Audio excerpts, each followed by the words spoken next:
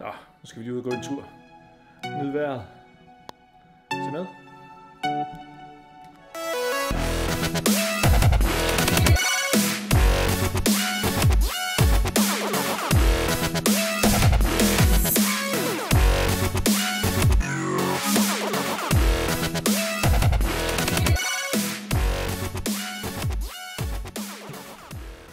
Det er sgu lang tid siden, vi har lavet noget videoklip. Nu er det nye tider. Nyt fokus.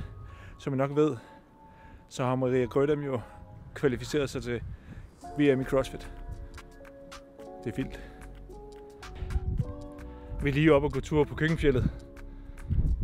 Nyd vejret. Der er lidt vind, så jeg gemmer mig lige bag en sten. Kan I lide mine briller? Gamle Juliet. Nå, som sagt, Maria har jo kvalificeret sig til VM.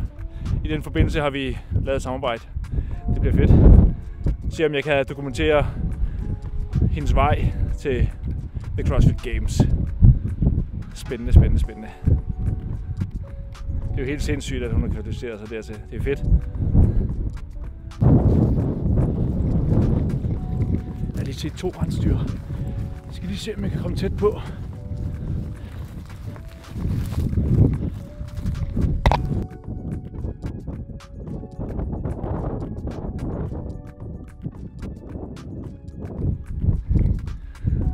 Den var løbet langt væk.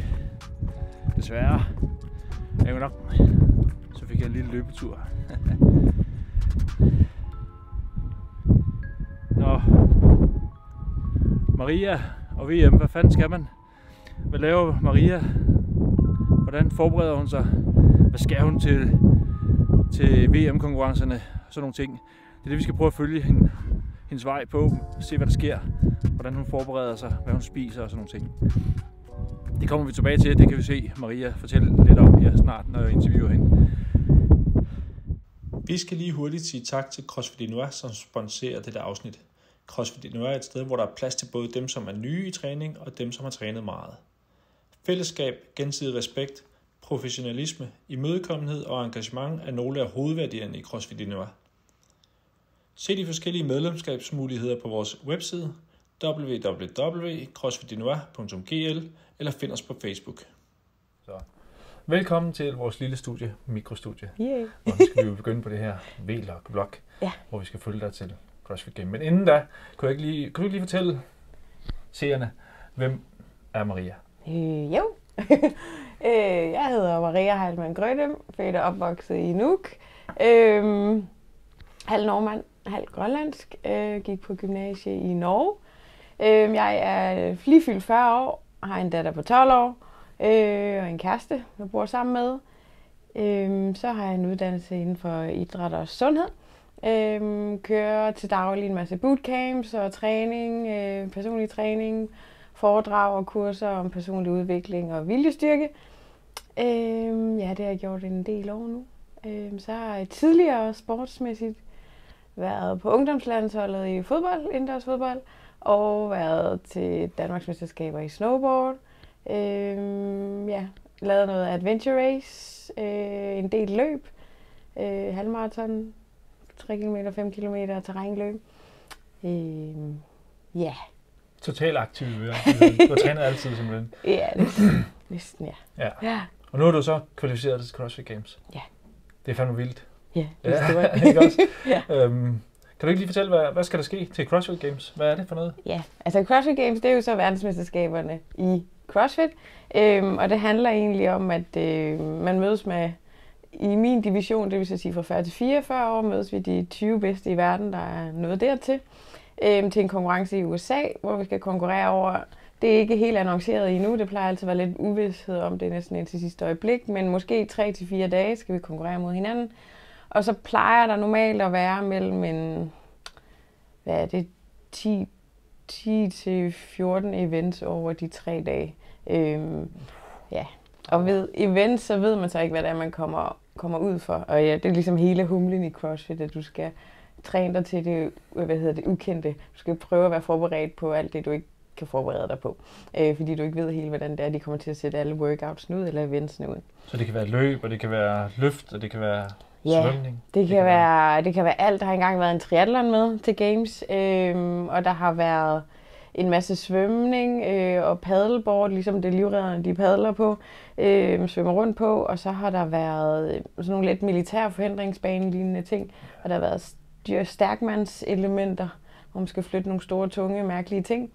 Øhm, og så er der altid noget med en vægtstang, der er nogle masse gymnastiske ting, med eventuelt gå på hænder eller løbe på hænder. Øhm, hive sig op i en almindelig pull-up bar mange gange, øh, eller mm. hvad de nu ellers kan finde på. Ja, der har ja, og ræbklatring og sådan noget. og- Ja.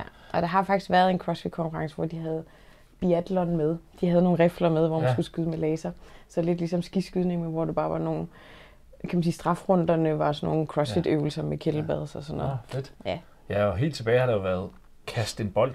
Ja, lige præcis. Og længdespring. Ja, og længdespring og muligt sådan noget. starten, De prøver jo egentlig bare at samle alle sportsgrene Ja. i én. Så, Ja. så skal du kunne det hele. Ja, 10 lige kæmper præcis. med lidt, en hel del mere på Ja. i virkeligheden. Med vægtløfteren og Ja. ja. udholdenhedsatleten. Det er i hvert fald vildt spændende. Ja.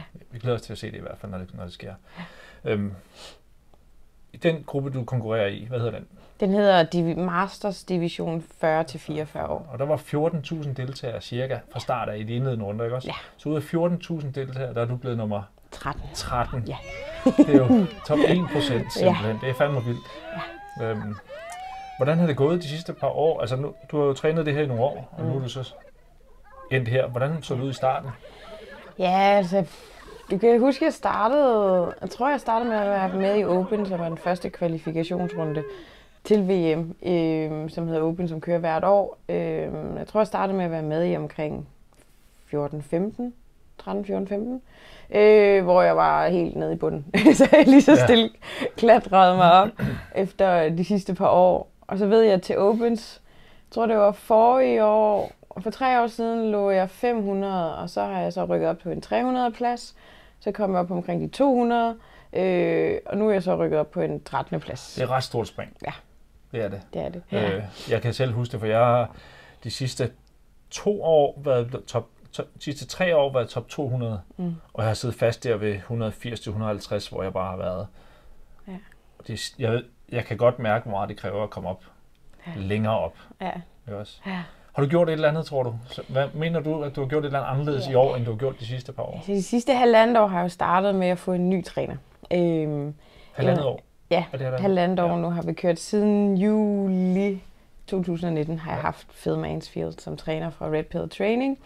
Øhm, så udover at jeg har fået en rigtig god træner, som laver et rigtig godt program til mig, øhm, også et program, som undgår, at jeg bliver skadet eller overbelastet, så øhm, har jeg jo så også gået lidt mere op i det med at sove ordentligt. Sove mine 8 timer hver nat øh, på de rigtige tidspunkter af døgnet. Spise den rigtige mad også. ja. Mad? ja. Søvn? ja. Øhm, og spise den rigtige mængde mad også, fordi okay. Nu træner jeg mange timer om dagen, Ja. så det er vigtigt at få nok energi. Ja. ja. Betyder det bare, at man bare skal spise løs? Nej, Nå, det okay. betyder, at man lige skal finde ud af, Okay. hvordan det skal sammensættes Ja. i forhold til, hvor meget protein skal jeg have, hvor meget fedt skal jeg have, hvor mange kulhydrater skal jeg have, i forhold til det, jeg laver til dagligt. Fedt. Ja. Okay, det er jo kæmpe, det er jo kæmpe stort. Der er mange ting, du har taget fat i. Ja. Jeg har set det udefra, også hvordan du har trænet før i tiden. Mm. Og jeg skal være den første til at indrømme det her. Øh, jeg har været, du har haft et ønske om at komme til Games, det ved jeg. Ja. Og i et stykke tid, der sagde jeg, det kommer hun sgu ikke til. Det synes jeg ikke. Det gør hun sgu ikke godt nok, det her. Ja. Øh, men, men det må man sige, jeg bliver nødt til at æde mine ord i mig igen, mm. fordi du har jo ændret din tilgang, og jeg kan ty- man kan tydeligt se det. Mm. Det er fucking sejt. Øh, for, øhm, du har også gjort nogle andre ting, synes jeg. En af de ting, der er tydelige, nu ser jeg det kun op i boksen, Mm, ja. og vi skal nok se noget med kosten og sådan noget, når Maria laver mad sådan en anden dag. Øhm, du går jo meget hårdere til den, når du mm. træner workouts, ikke styrkemæssigt, mm. og de der ting, hvor du har pulsen høj. Mm. Der kan jeg se, at du prøver at begå selvmord hver gang. Ja. Stort set nu, Ja. ikke også? Ja. Og så fordi du har fået en kanin med på det, Ja, som kan presse dig. Ja. Indro, min Ja. kæreste, som er... Ja. Der er sket et eller andet med hende også. Det er Ja. helt crazy, hvor meget hun kan presse på. Jo, ikke? Ja. Så det, det er det, jeg synes, der er sejt. Ja. Det er fandme, du har virkelig adaptet, og så Mm. tænkt, nu skal der ske et eller andet. Det har været vigtigt. Det er fandme sejt. Ja. Det er fandme hårdt. Ja. ja. Fedt. Det er også det, der har været vigtigt. Ligesom at finde ud af, hvor ligger mine svagheder. Øh, og det det, det, min træner har hjulpet mig rigtig meget med, med at finde ud af, hvor er det, fordi at når, jeg, når man kommer fra Grønland, så er vi ikke så mange mennesker. Så normalt, når vi bare konkurrerer mod hinanden, os der er heroppe, så har jeg jo haft mit billede af, hvor ligger mine styrker, hvor ligger mine svagheder i forhold til de andre kvinder i Grønland, eller Ja. mænd.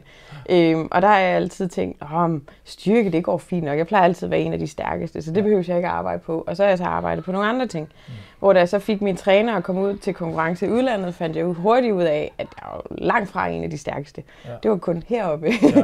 i Grønland, jeg var en af de stærkeste. Øh, og specielt et eksempel er for eksempel min back squat, min styrke i benene, hvor jeg hele tiden har tænkt, at jeg er jo løft, jeg er en af dem, der kan back squat mest i Nuuk, så Ja. det er ikke noget problem, skal jeg ikke arbejde på, hvor jeg så hurtigt fandt ud af, at det er det, jeg skal arbejde allermest på i, forhold, ja, i forhold til dem ude i verden.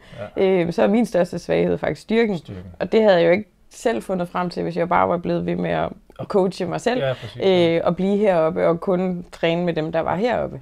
Øh, så der er det jo rigtig, rigtig meget at få nogle øjne udefra Ja.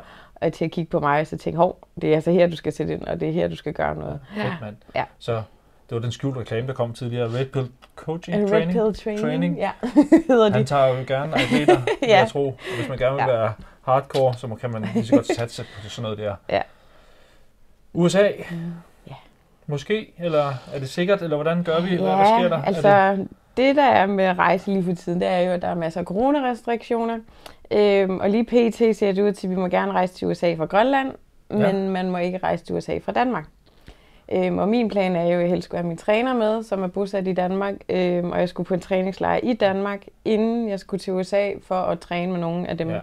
der er på samme niveau som mig. det er planen ellers. Ja, det er planen, ja. ja. Øhm, så vi håber lidt på, at kan man sige, restriktionerne med at rejse fra Danmark til USA, de ændrer sig. Så jeg godt kan komme til Danmark, Okay. okay. og så være med på træningslejre, og så rejse med de andre atleter, som er under min træner og ham Ja. ja. til USA. Øhm, hvis de ikke åbner op den vej, så bliver jeg jo nok nødt til at blive her. Okay. Øhm, Og det er fordi, man kan Ja. transitte igennem København fra Ja. Grønland, og så Ja. direkte til USA. ja, bare jeg ikke går ud af lufthavnen, lyder det som om Ja. lige pt, men det er ikke 100% Nej. sikkert, jeg har ikke undersøgt. Ja, en plan B. Ja. Ja. ja. Øhm, ja, og så ved vi heller ikke helt med vaccine, om der bliver nogle krav om, at man skal være vaccineret for at komme ind i USA, Ja. og det kan jeg, øh, så vidt jeg kan forhøre mig med landslægeembedet, ikke nå, Ikke inden nu. jeg skal Nå. afsted, fordi at de kun vaccinerer efter alder, Okay. og de ikke er nået til min aldersgruppe endnu. endnu. Nej. Ja, desværre. Du er ikke gammel nok. Nej. Fedt. ja. Nå, så håber vi. Og Ja. Der var jo også en plan C, og jeg håber, at hvad det, Phil ser det her. ja, Ikke også? det er, at øh, så vil vi have Phil fra Danmark herop Ja, til mand. Grønland. Ja, og så ja, laver ja. vi en træningslejr her. Træningslejr Og for så tager Maria. vi, ja, så tager vi til USA. Ja. Det kunne være I plan. C. Ja, plan Ja. C. Lad os se, hvad der sker. Ja. Nå, lad os håbe, det, det hele flasker sig, og så, Ja. så regner vi med, at vi fortsætter de her vlogs, og så, Mhm. så fortsætter vloggen med til USA, op til, øh, til øh, al træningsmængden og kost, og lidt mere om arbejdet, og så forhåbentlig også, når vi kommer helt til USA. Mm. Ja. Det hele, det Ja. kunne være monsterfedt. Skal jeg have det hele med? Eller, Ja. Hihi. tak, Ja, selv fordi tak. du kom. det var så lidt. Vi glemte lige noget. Følg med på de sociale medier. Ja. Facebook og Instagram. Maria Grødem på begge dele. Jeg hedder også Raw Great Greenland på Instagram. Så kan du følge med i alt det, vi laver. Følg med på Lasses også coach Lasse Nyman Petersen, eventuelt også Lasse Nyman Petersen, også på YouTube på Lasse Ja. Nyman Petersen. Det er rigtigt. Vi skal nok dele det hele. Facebook det samme. Ja. Følg med, følg med, følg med. Del det. Vi skal bare have en masse eksponering her. Ja. Det er godt.